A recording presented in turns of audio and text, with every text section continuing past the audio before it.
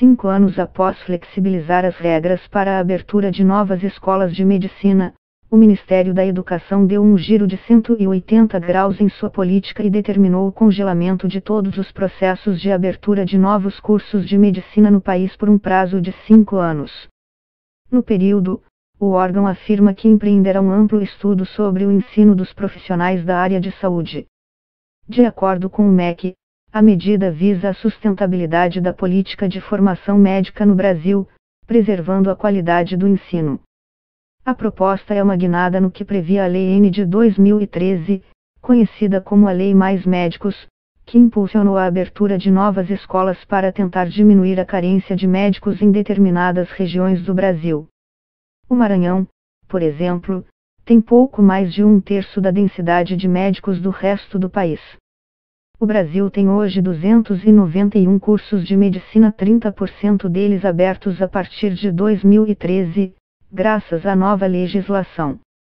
Com os cursos recém-abertos, o Brasil saltou de um patamar de novos médicos formados em 2012 para um potencial de formar profissionais por ano que, para as entidades médicas, não é um crescimento sustentável. A medida do Ministério é muito bem-vinda. Somos os campeões mundiais em abertura de novas escolas em um prazo tão curto de tempo, afirma Mauro Luiz de Brito Ribeiro, presidente em exercício do Conselho Federal de Medicina, CFM. De acordo com o MEC, a mudança sequer passaria pelo Congresso Nacional. A novidade passaria a valer por um mero decreto do Presidente da República. O documento, contudo, ainda precisa ser elaborado e assinado pelo presidente Michel Temer, PMDB. Apesar de vir aumentando o número de médicos recém-informados, o Brasil ainda diploma menos profissionais que países europeus, mas já passou nações como Estados Unidos e Canadá.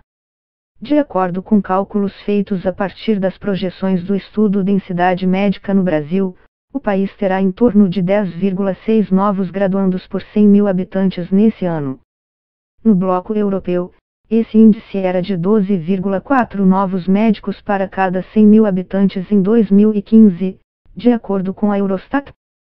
Já no ZEUA e no Canadá naquele ano, a taxa era de 6,5 e 7,3, respectivamente. Pelas projeções de novos formandos no Brasil, o índice de novos diplomados deve crescer nos próximos anos e, em 2020, chegar a 15 médicos por 100 mil habitantes. Apesar do aumento, o número ainda ficará distante de países como a Dinamarca que, em 2015, tinha 23 graduandos por 100 mil habitantes, segundo a Eurostat. Para o ex-ministro da Saúde Arthur Choro, que atuou no governo federal durante a implantação da Lei Mais Médicos, o Brasil ainda está atrás de países desenvolvidos com sistemas gratuitos de saúde quanto à taxa de estudantes e médicos por grupos da população. Há uma discussão de que o Brasil tem muitas faculdades de medicina mas o número de vagas por 10 mil habitantes é consistente. Se comparar a nossa realidade com a dos países da OCDE, nossa situação é crítica, diz Choro, que hoje atua como docente do Departamento de Medicina Preventiva da Unifesp, em São Paulo. Na média, Brasil e OCDE estão próximos. O grupo tinha 10,2 novos médicos por 100 mil habitantes em 2015. Contudo, a taxa variava entre países da organização, enquanto a Áustria tinha um índice de 19,9 médicos diplomados por 100 mil habitantes, a França tinha 6. Nesse último, não há sistema universal de saúde. Apesar do crescimento das vagas de medicina, o ensino médico não avançou, afirmam profissionais ouvidos para a reportagem. Para alguns, a queda na qualidade está na expansão rápida da rede de universidades, sem a devida fiscalização. Para outros, a crise está na especialização precoce dos estudantes, que saem da faculdade sem uma formação generalista. Resultados do último exame realizado pelo CREMESP, Conselho Regional de Medicina do Estado de São Paulo, ilustram a crise atual. Em 2016, mais da metade, 56,4%, dos médicos recém-graduados que prestaram a prova da instituição reprovaram.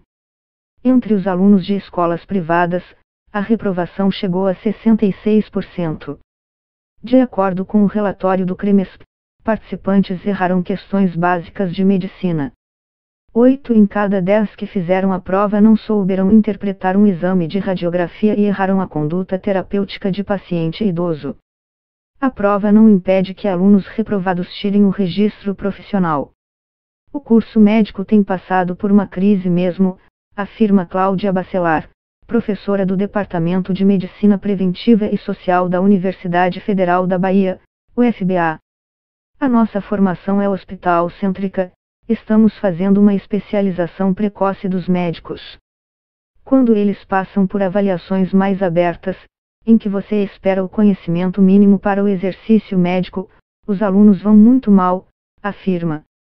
Para o médico Luiz Fernando Correia, membro do Fórum Saúde do Colégio Brasileiro de Executivos de Saúde, CBEX, organização que reúne executivos do setor, a deficiência no ensino médico está diretamente ligada à abertura de cursos em universidades que nem sempre possuem hospital universitário e programas de residência médica para complementar a experiência acadêmica com a prática. Medicina não é só título de professor, é laboratório e hospital universitário de qualidade. Hoje, faculdades não possuem tomógrafo, uma máquina de ressonância, afirma. Na cidade do Rio de Janeiro você não tem uma faculdade de medicina a que você diz ser de excelência? As universidades públicas, que eram conhecidas pela sua qualidade, estão falidas, aponta. Uma análise de 2015 do CFM sobre a estrutura das escolas em funcionamento no país naquele momento mostrou que, dos 194 municípios com uma graduação para formar médicos, 63% não tinham nenhum hospital universitário. Embora a Lei Mais Médicos condicionasse a abertura de novos cursos à implantação de programas de residência médica, eles estão paralisados. As vagas de residência médica estão estagnadas, as que estão sendo abertas são do Programa Saúde da Família.